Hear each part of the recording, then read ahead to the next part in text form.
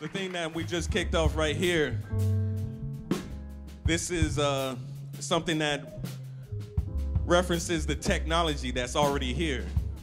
You see, music was here before we even got here.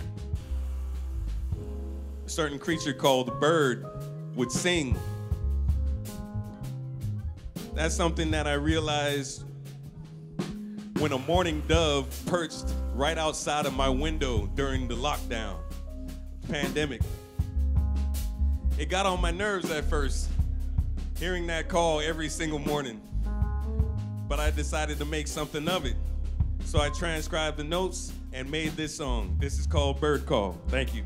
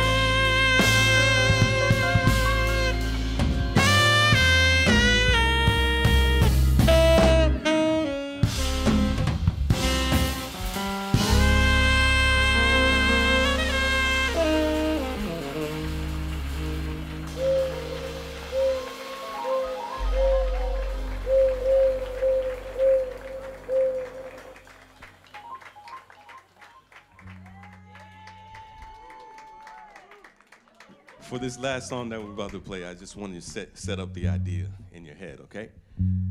All right. Imagine you're in this incredibly massive universe that I was trying to explain earlier, right? Oh my God, such a huge universe. And you're the only living being on your planet or in the universe. That's quite a sad story, don't you think? So it's great that we have company. We have people to share this journey on this big giant spaceship that's going around and round and round and round the sun with the technology of nature. Right? So I wrote a song about that. And there's a byproduct of it. It's called relationships. They take you through turmoil. They go through all different kinds of moods and modes but be grateful for that because otherwise it'll just be you on a spaceship. but anyway, this is the song I wrote about that, that thought. This is called You and I, an Anomaly.